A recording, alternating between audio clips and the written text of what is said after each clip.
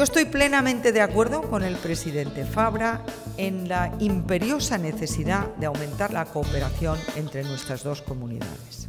Y esta cooperación que promueve la Fundación Conexus ha sido siempre, también en épocas de bonanza, que no la hemos descuidado, una necesidad fundamental para poder promover el desarrollo de nuestras regiones.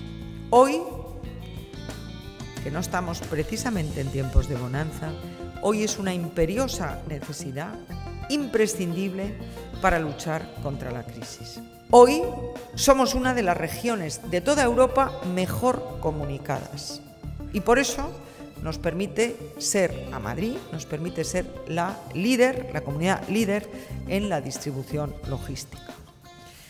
Y para alcanzar esa posición de liderazgo, el corredor Madrid-Valencia ha sido y es hoy fundamental de ellos se deriven beneficios para la prosperidad y para el empleo de ambas regiones, de Madrid y de la Comunidad Valenciana. Muchísimas gracias.